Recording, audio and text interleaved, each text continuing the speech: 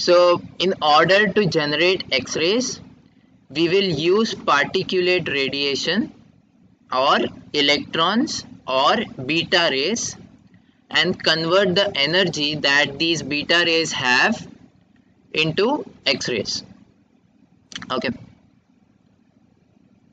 Okay, so again coming back to the diagram, let's focus here on X-ray generation okay so this is a very very very basic schematic. So you will learn more about the x-ray tube probably in the next lecture but I'll just give you a small uh, introduction so that things that we do uh, further in the lecture is um, understood. So let's say you have a tungsten element here. So this is the cathode if you will and there is the anode which is made of copper but then it has a tungsten target. Okay. You supply very high voltage over here. Because of the very high voltage what will happen is electrons flow from the cathode towards the anode. That is electrons will flow from tungsten to the target which is tungsten over here so it'll flow from cathode to anode. And something happens that uh, leads to the production of x-rays. Okay so we'll see what what is that something. So this comes under the topic called as particulate radiation interaction with matter. So so this is the particulate radiation that will come because that's a beam of electrons so the beam of electrons will come and it will interact with this target over here. That's the tungsten target.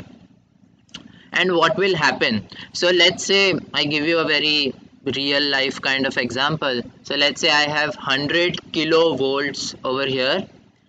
Uh, you can appreciate how big is this. I mean uh, we usually use 5 volts back batteries or 1.5 volts batteries. So this is 100 kilovolts that is 100 and then three more zeros and then volts yeah.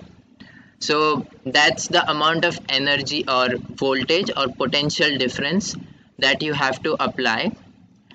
And uh, as I told you so why did we change from joules to electron volts would be more clear over here because if I apply 100 kilovolts the energy that these electrons get over here is 100 kilo electron volts. So it's so easy. So just by knowing what is the potential difference that I'm applying I can quickly calculate how much energy with how much energy the electron will move from cathode cathode to anode. So that is the main purpose of converting it to electron volts. Okay. So when the electron reaches the target what will happen? So there will be either collision. So collision is so there are these electrons that are high energetic electrons that are bombarded on this particular metal over here. So they, they will produce heat because of friction. So that is the most common thing. So there is a lot of heat that is generated in the tube and thus you have to have a very good uh, heat sink or you you should have a very good I would say you should have something that will cool your device. So that's one. And the other thing that happens is called as radiative transfer which produces x-rays. So heat is something in this particular context that we don't want but we get because we cannot do anything about it. But the focus over here is x-rays. So how do we get x-rays? There are two different steps. Again as I mentioned in the start it is probabilistic so there could be few electrons that collide with the K shell electrons of this particular metal.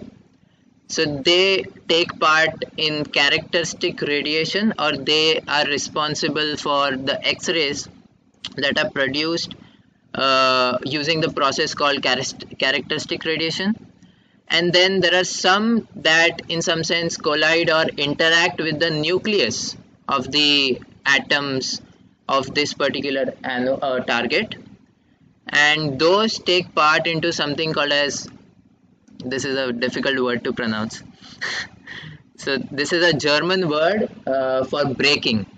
So Bremsstrahlung I, I, I'm I don't know if I'm right or wrong but yeah so that's braking. So braking radiation. Okay so let us see characteristic radiation and Bremsstrahlung radi braking radiation uh, one by one